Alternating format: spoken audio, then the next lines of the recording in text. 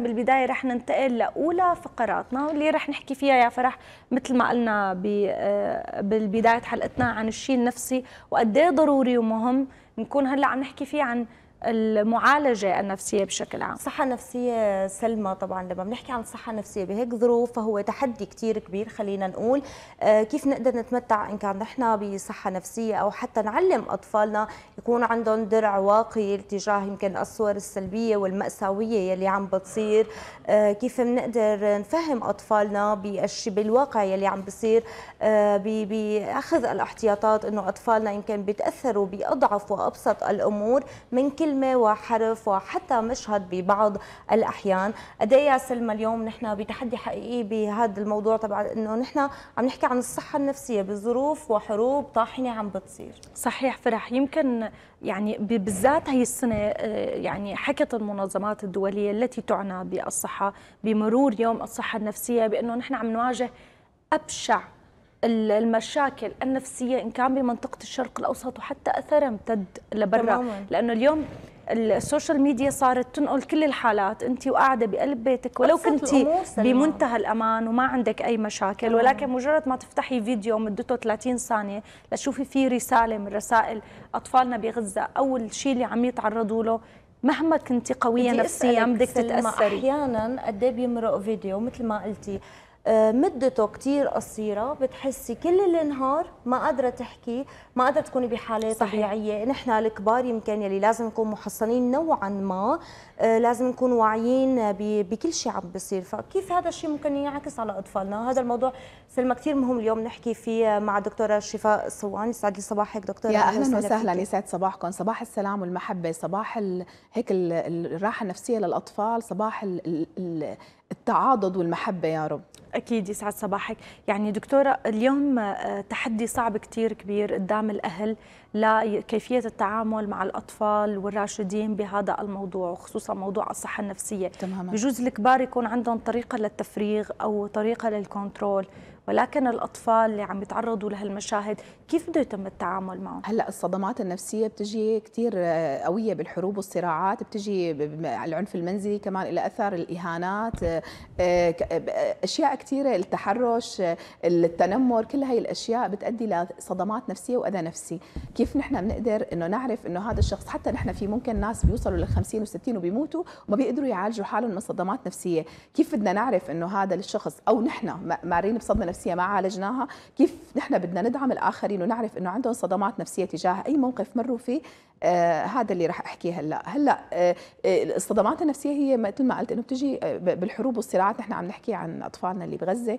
آه لما بيمر بيصير عنيف بيصير عنده ردات فعل غير غير يعني تبول لا إرادي ردات فعل غير يعني مفهومة عدم النوم القلق بالنوم الرعب بالنوم يعني بفيق مرعوب دائما بيصير عنده عصبية ستريس يعني عصبية كل ما حدا حكى شيء أو هيك بسرعة الغضب بدون سبب بيشوف شيء بسيط جدا لكن هو تراكمي يعني هو بسبب إنه هو الصدمه النفسيه ما ما تعالجت. طبعا هذا الشيء ببدايته طبيعي جدا. لكن إذا استمر أكثر من شهر هون لازم كثير ضروري إنه نشوف أخصائيين نفسيين يتم معالجتهم يتم إنه آه، نعرف آه، سبب الصدمة حوار الأطفال. شو الشيء اللي مضايقك؟ نكسر رهبة الخوف مثلا من ال من ال القذف والقذائف والمشاكل اللي عم تصير حواليهم. نصير بدال ما يكون في هذا الرعب في شفنا آه، ناشط فلسطيني صبي صغير صار يقولها بطريقة المزح والضحك. هذا قد إيه قوي لحتى تجاوزها بطريقة المزح والضحك. ينقل هي الأخبار قد إيه هو قوي يعني القصف فوق رأسه هو عم يعمل هذا الشيء اللي كثير في قوة وفي بس دكتورة خلينا اليوم نقول الأطفال ما متساويين بهي الصحة النفسية اللي نحن بنتمنى تكون موجودة وكمان ما متساويين بردود هي الأفعال. اليوم كيف نحن بنقدر نحمي أطفالنا؟ قدر الإمكان من هي الصدمات اللي عم نحكي عنها. خاصة إنه اليوم في حروب وكوارث مثل ما قلنا ما بنقدر نحن نكون بمعزل كامل ونحمي أطفالنا على القليلة. يمكن من مشهد ممكن يشوفوا على التلفزيون تمام. أو كلمة يسمع من الرفيق تمام. هلأ الفكرة إنه اللي بيكون بعيد عن بس عم يشاهد. كمان كمان في مشاهد مشاكل بتكون أمراض مزمنة ممكن يصير بسبب الصدمات إنه من كثر الحزن والرعب على هدول الناس اللي يعني نحن عم نشاهدهم عم نحكي إنه مو ناس عايشين هذا الواقع ناس عم تشاهد. ودائما الاهتمام الشديد جدا لدرجة إنه أول ما بيفيقوا بعد ما أول ما بيناموا التأثر الشديد جدا بدال ما يحملوا مسؤولية ويصيروا إنه مثلا يدعوا يبعثوا لهم هيك رسائل سلام ومحبة يساووا أشياء ممكن إنه هي تدعمهم بأي شيء بمنشورات بأي شيء معين إنه تدعمهم لا بصيروا بيستسلموا بيستسلموا بيحزنوا بيأسوا. هذا اليأس بيوصل لهم كمان يعني. هذا الشيء كمان إحنا ما بدنا نوصل وبيوصل لنا للأمراض وما حيفيدنا بشيء دائما الفائدة بتكون لما نحن بنتحمل مسؤولية وبنطلع بنتجاوز هذا الشيء بحالة نفسية أفضل. حتى هي بتدعمهم نفسيا في مكان ما بالعالم بتدعمهم نفسيا وبتدعمنا لنتجاوز هذا الشيء. كثير شفنا ناس مرضوا بهي الفترة. سبب مرضهم هو كان المشاهدة المستمرة مع العواطف العواطف الكبيره كثير بدون صحيح. آه العقل المسؤول يلي هو أنا شو بقدر ساوي بهي الأزمة؟ شو بقدر إني أنشر من الحق شو إن بقدر أنشر من الحقيقة؟ شو بقدر إني ساعد هدول الناس وأدعمهم كطبيب كذا؟ إنه أي حدا بمكانه بيقدر يدعم بالشيء لو كان أبسط شيء بالدعاء بأمنيات الخير. أما المرض والحزن واليأس اذا نحن شفناهم بقمة هذا الألم يلي هن عم يتالموا هن بقوة أكبر هائلة جدا أكبر من القوة اللي نحن بنمتلكها بصراحة بأي مكان بالعالم. آه، فدائما بتلاقيهم محتسبين دائما صابرين دائما أقوياء دائما مصرين على انه ما يطلعوا من الأرض دائما مصرين على أشياء هن يعني يعني غيرهم يمكن ما بيقدر يتحمل هذا الشيء لكن هن عندهم هي القوة وهن عندهم كمان الدعم. يعني بنشوف لما وحدة بتفوت على عزاء قد إيه بتطبطب عليهم قد إيه ما ما مرضت وحزنت وتراجعت لا هي كانت داعمة وقويه نحن لازم نكون داعمين ما نكون مستسلمين والحزن ياخذنا أو ياكلنا آه، لحتى ما نقدر ندعم الآخرين أو وندعم حتى أطفالنا اللي عم يشوفوا هي المشاهد. أكيد. طيب دكتورة نحن شفنا خلال الفترة الماضية كثير آراء اتجهت نحو إنه يكون في آه، آه، يعني مشاركة للأطفال بهذا الحدث بداية ما نكذب عليهم. طبعا. ما نقول لهم ما في شيء ومو صاير شيء لأنه الأخبار موجودة بكل العالم ورح توصلهم يعني تماما. بالنهاية. فإنه قد إيه مهم إنه نشاركهم اليوم التفاصيل ولكن بطريقة إيجابية. تماما. خلينا مثلا نرسم شيء خلينا مثلا نتعرف على الثقافة الفلسطينية. تمام. خلينا نعرف ليش هدول الاطفال أقوياء ليش؟ لأنه هي القضية يعني نعرفهم أكثر. هي القضية تماما. تماما. في بعض الناس أخذوا أطفالهم اللي من عمر مناسب شاركوا بوقفات آه، لونوا العلم الفلسطيني آه، لبسوا كنزة فيها شيء سلوك أو شيء له علاقة بالكوفية الفلسطينية. قد إيه مهم المشاركة؟ ممكن تساعدهم إنه تخف هي الصدمة عليهم. إيه طبعا أكيد كثير مهمه هي المشاركة إنه نحن أول شيء إنه نكون واضحين معهم آه، نفوت بالأشياء الإيجابية مثل ما قلت نحن نركز على الأشياء الإيجابية. نحكي لهم عن بداية الصراع الفلسطيني الإسرائيلي آه، نحكي لهم عن إنه شو بنقدر نساعدهم ممكن نساعدهم بالكلمة ممكن بنشر هذا الجيل كثير جيل ذكي جدا وعبقري بالذكاء الإلكتروني وال social media. فأنت كيف فيك تدعم هدول الفلسطينيين يلي أخواتنا اللي عم ينقصفوا ويصير معهم هذا الشيء. ممكن انشر ممكن ادعم ممكن ترجم ممكن لغته الإنجليزية قوية ممكن ترجم ممكن انشر هي الأشياء. فأنا شو بقدر أعمل؟ ممكن أرسم لوحات وأبعتها ممكن أرسم لوحات وأعمل معارض آه، ورجي العالم. هذا الألم الفلسطيني اللي عم يصير قد إيه أنا بقدر أدعمه بهذا الشيء. نرسم فلسطين الحرة اللي هي آه، بعيدة عن عن هذا الكيان المحتل تماما. وهو كثير يعني آه، حتى على فكرة الفلسطينيين في الداخل هن على قد ما هن المتالمين هن المتفائلين فاعلين جدا لأنه هو يعني القوة المادية غير متكافئة لكن القوة الروحية هي طاغية بالفلسطينيين المقاومة الفلسطينية الله يحميهم. فقد إيه نحن من بنحفز هذا الطفل إنه قد في ألم بس لا قد في خير قد في تفاؤل قد في أمل إنه نحن حننتهي من هذا الكيان المحتل والغاصب. ونحن قد نحن فينا ندعمهم برسماتنا بالسوشيال ميديا بكلماتنا بإنه نكتب شعر فيهم إنه ندعمهم بأي شيء ممكن نعمله. المهم إنه نحن نركز على الدعم ما نركز على الحزن مشان ما هن يمرضوا. لأنه نحن بالنهاية إذا غبي أخذنا وامتصينا هذا الألم اللي موجود نحن رح نمرض وما رح نستفيد شيء. ولا هن حيستفيدوا يستفيدوا شيء. نحن بالمقابل تحمل المسؤولية هي القيام بشيء إيجابي بيقدر يعمل أثر كتير عظيم وكتير جميل ولو كانت الأثر الفراشة يلي هو جناحة فراشة آه، آه، يعني ترفرف في مكان ما قد تعمل عاصفة في مكان ما. خلينا أجنحة الفراشات لإخواتنا بفلسطين بأثارنا الإيجابية الحلوة اللطيفة. دكتورة آه، خلينا نحكي عن المرحلة يلي نحن كلياتنا بنتمنى إنه نحن ما نوصل لها. الصدمة عند الأطفال وقد إيه نحن بعازة علاج حقيقي يمكن تساعدهم خطوة بخطوة لحتى يطلعوا من حالة الصدمة مع اختلاف خطورتها ومع اختلاف أعمار الأطفال أو حتى المراهقين يلي ممكن يدخلوا بحالة نفسية كثير سيئة.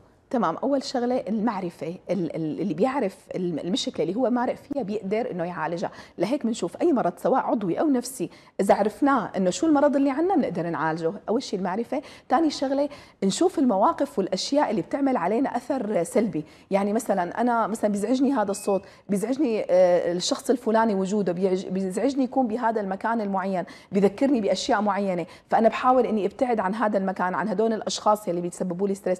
أعرف ليش هذا الشخص بيسبب لي stress. ممكن أشياء مرتبطة بالماضي. نحن كثير صدمات ما تعالجنا منها ولا عرفنا نعالجها ودائما غطيناها ودائما إذا إمتى بنعرف إنه نحن عندنا صدمات غير معالجة لأنه نحن مثلا نغضب بمواقف لا تستحق الغضب. مثلا أنا ابني ما درس بقيم الدنيا وبقعدها لأنه ابني ما درس مثلا لأنه وقعت انكسرت كاسة بعمل بقيم الدنيا وبقعدها مع إنه هو شيء سبب عادي وبسيط وبديهي إنه يصير إذا وقعت الكاسة تنكسر وبديهي إنه أي حدا تنكسر معه الكاسة. ففي مواقف لا تستحق هذا الردات الفعل الكثير عنيفة أوقات ناس أو ناس مثلا في شغلة ما بتتحقق معهم بيكسروا بيعملوا بيساووا أشياء بتزعج نفسهم وبتزعج الآخرين بعدين بيجوا بيراجعوا نفسهم. هي معناتها في صدمات طفولة لم تعالج. هذا من مؤشرات صدمات الطفولة. آه شغلة مهمة جدا لحتى ننتقل لمرحلة العلاج مراقبة الذات. مراقبة أني أنا أشوف نفسي إمتى عصبت إمتى تضايقت إمتى هي الصدمات إمتى هذا طفلي ارتعب. إمتى في ناس معينين هو عم يخاف منهم ويتلاشاهم. إيه، أماكن معينة يمكن أماكن مغلقة اسانسير آه، غرفة مظلمة كذا ما بيحب يقعد فيها. إيه، أنا هون لما براقب نفسي وبراقب طفلي بعرف أنا كيف إني أعالجه. بيجي بحاوره إنه أنا ما في شيء بخوف مثلا بخاف من قطة بخاف من شيء تعال مسك القطة تعال نلمس عليها تعال نحكي معها القطة لطيفة هي بالعكس بتخاف منا نحن ما بنخاف منها أشياء كثير حتى لو كان على مستوى حشرات أو أي شيء ممكن يمر فيه أي فوبيا أو أي خوف أو رعب إنه بيحسه الطفل لازم نحن نأمنه فيه نواجهه. أي خوف لا يتم مواجهته بصير بيتملكنا. بيتملكنا حتى للأبد. بنشوف ناس ما عم تتعالج من فوبيات معينة مرقت فيها بحياتها بسبب إنه هي ما قدرت تعبر اوقات هي دكتور عنف أو شيء عفوا بتشوفي إنه هذا القلق أو الخوف ممكن يتورث للأبناء؟ إن كان تماما. الأهل اللي عم بيعيشوه أو عم بيعانوا تماما. وعم يحاولوا قدر الإمكان إنه ما يوصل لأطفالهم. بتشوفي إنه هذا الشيء ممكن يتورث؟ هو بيتورث وبيورث الأمراض أيضا. يعني أنا لما بكون حامل وبشوف مناظر مؤذية ومناظر متعبة وأنا بحزن. طبعا كثير مهم. أنا ردة فعلي عن هي الأشياء إما أن تكون استجابة أم تكون ردة فعل. ردة الفعل بتكون سلبية. أما الاستجابة هي بتكون إيجابية. أنا بحمل مسؤولية هذا الشيء اللي, أنا شو دوري كفرد. أنا بأي مكان بالعالم تجاه هذا الشيء اللي صار سواء صدمة آه، مجتمعية أو شيء نحن صاير معنا عادي أو صدمة إنه من خلال المتابعة أو من خلال الآلام اللي نحن بنشوفها مع الآخرين. فكنا آه، عم نحكي إنه آه، فكل ما كان الإنسان أكثر وعي بدوره ومسؤوليته وانه أكثر وعي بأنا طفلي شو الشيء اللي تعرض له كل ما بقدر إني أعالجه بطريقة أفضل وأحسن وأسرع. يعني. أكيد. طيب دكتورة شفاء يعني كثير أوقات بنشوف آه، الأهل هن ماشيين بتدرج بحياتهم اليومية ومو عرفانين إنه هن عم يتأثروا وبالتالي عم بيأثر هذا الشيء على أطفالهم. يعني مو قدرانين يضبطوا سلوكهم أصلا ليعرفوا انه المشكلة عندهم. طبعا. شو هي العلامات اللي بتقول إنه عندهم اضطراب ما بعد هاي الصدمة؟ أو شو مثل ما بيقولوا التعرض لهي المشاهد القوية جدا والعنيفة. أمراض مزمنة ممكن أمراض السكر أو الضغط. كثير شفنا ناس بالذات الكبار بالعمر لأنه قاعدين بالبيت ما في شيء مثلا عندهم عمل الحالات. ما في عمل عم يمارسوه برات البيت فهن بيجوا بياخذوا كل هذه الآلام وبياخذوها جواتهم فبتتحول لأمراض بيغير على الجينات بيأثر على التعلم والدماغ. يعني تخيلي إنه بيغير ربط خلايا الدماغ ببعضها التوتر والتعصب والستريس ومتابعة هي الأشياء. يعني بصير الإنسان بيقول ليش عم بنسى أنا كثير ليش ما عم بتذكر؟ ليش أنا ما عم بعرف أتعلم؟ لأنه آه، بيصير عنده خربطة ما عاد يعرف يتعلم ما عاد يعرف يساوي أي شيء بحياته بيتوتر آه، بينسى كثير فهي الأشياء كلها ضروري إنه نحن حتى بننقلها لأولادنا بالجينات. يعني هي المشكلة إنه نحن هذا الرعب اللي أنا عم برتعبه أو الحزن اللي أنا عم بحزنه عم بنقله لأولادي عم بنقله لصحتي. صحتي دائما الجسد هو مرآة الأشياء اللي نحن بنشوفها ومرآة المشاعر اللي نحن بنشعرها ومرآة الأفكار اللي نحن بنفكر فيها. مثلا بدل ما نفكر بأشياء سلبية لا نفكر بأشياء إيجابية نتفائل آه، ندعمهم بأي شيء بنقدر عليه بأي شيء بنقدر عليه ولو أبسط شيء بالدعاء والأمنيات إنه يكونوا بسلام وحماية. كل ما كنا واعيين لهذا الشيء كل ما قدرنا نتجاوز هي الصدمات بطريقة كثير والتآلف الاجتماعي. يعني أنا أكون دائما بحالة تآلف اجتماعي مع أطفالي مع عائلتي مع ناس حسيتهم متأثرين أكثر من الثانيين كثير مهم التآلف في إنه نعمل أشياء عظيمة إنه على الأقل نخفف يعني ليش الإنسان بييأس أو بيوصل لمرحلة الحزن أو المرض؟ لأنه هو ما قدر يعمل شيء أو حس حاله عاجز عن إنقاذ هدول الناس أو إنه عمل أي شيء. مبادرة بأي شيء ولو كان بسيطة لهدول الناس. فهو بيحس آه، مشاعر العجز ومشاعر العجز اللهم إني أعوذ بك من العجز والكسل.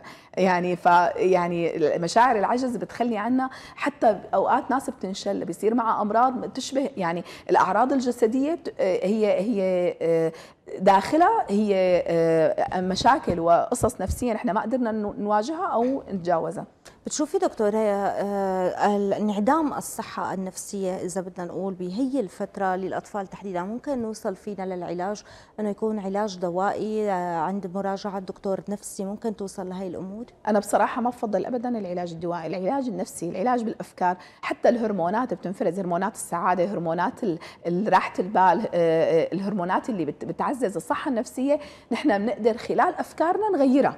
يعني أنا هرموناتي لما بفكر كثير بتوتر عن سواء على أي مشكلة بمرق عليها آه، نفسية أو خوف معين فالادرينالين الأدرينالين بينفرز بطريقة كثير كبيرة وعلى بشكل دائم ومستمر. هذا الأدرينالين بيهلك الجسم هلكان بيمرضه بيتعبه بيصيبه بالوهن. بالمقابل أنا فيني من طريقة الأفكار من طريقة إني أنا فوت لداخل هذا عقل الطفل أعرف شو آه، داخله. خليه يتفائل أكثر خليه يعمل أشياء إيجابية أكثر خليه يتحمل مسؤولية الأشياء اللي عم تصير حواليه كأثر فراشة ولو أثر بسيط ولو رسمة ولو تعبير عن النفس آه، أو كتابة رسالة لهدول الناس. كتابة رسالة كثير كثير حلو إنه نكتب رسالة لأطفال فلسطين نخلي أولادنا يكتبوا لنا رسائل. فقد إيه هذا الشيء بيعزز عنده صحته النفسية وبنفس الوقت بيكون داعم للأطفال الآخرين في كل مكان بالعالم عم يتعرض لهذا الشيء وأهم شيء إخواتنا بفلسطين. أكيد. دكتورة شفاء خلينا نحكي عن يعني أبرز أنواع العلاجات النفسية اللي يتم اتباعها حاليا مع هذا النوع من خليني أقول الاضطرابات السلوكية اللي عم بتصيب إن كان الأطفال أو إن كان الكبار يعني. إيه، أهم شيء آه، مثل ما قلت الكتابة آه، الشيء الثاني التعبير عن الذات. أعرف الأشياء المراقبة دائما راقب نفسي وعالج لأنه المراقبة هي اللي بتخلينا نعالج أنفسنا. الملاحظة إني أنا لاحظ الأشياء اللي اللي البسيطة أو الدقيقة اللي أنا ممكن أعصب فيها أو أتضايق منها أو احزن بسببها أو إنهار في ناس بينهاروا بينهاروا تماما بسبب هي الأشياء. آه، لأنه لو نعرف شو هي الأشياء اللي بتأثر فينا اللي بيسموها ازرار الزناد أزرار الزناد يعني نحن لما بنضغط عليها بننصاب بهذا الشيء. لما أنا بعرفها وبقدر إني أنا فوت بتفاصيلها وأعرف شو أسبابها وجذور هذا الشيء اللي أنا عم ساوي بقدر أنا اعالجه أو هذا طفلي ليش هيك عم يساوي؟ بقدر إني أعالجها نهائيا وتماما بالحب بالدعم بالإيمان القوي باليقين بإنه القادم هو أفضل وأجمل وإنه اليقين إنه نحن حنتجاوز هي المرحلة لمرحلة أفضل بكثير هي الألم هو مخاض لولادة لولادة آه، آه، فلسطين الجميلة الجديدة الخالية من المحتلين. دائما كل ما كنا متفائلين أكثر طبعا التفاؤل مو عن عبث أو غباء لا أو أو سذاجة لا. التفاؤل المقرون بإحداثيات من لهم ليش الفلسطينيين بفلسطين رح ينتصروا؟ لأنه كذا وكذا وكذا. لأنه دائما المحتل هو جبان هو سارق هو إنسان آه، ماله ماله ماله إنسان جيد. لأنه هو قبل إنه يقعد بمكان غير مكانه وياخذ أشياء مو له بهذا المكان. ف بنفس الوقت نعطيه حقائق لهذا الطفل حقائق جيدة جدا في معالجة الناس. آه، والبعد عن الأوهام مثلا أوقات في آه، وهم معين ممكن فكرة معينة هي واهمة آه، العقل بكبرها أكثر ويضخمها أكثر مثلا هذا المحتل قوي ما حدا بيسيطر عليه عنده أسلحة عنده أمريكا داعمته ف رح رح نوصل يا حرام الأطفال ما حيبيدوهم حيبيعوا ما ما في شعب بالدنيا بينباد هي أول شغلة.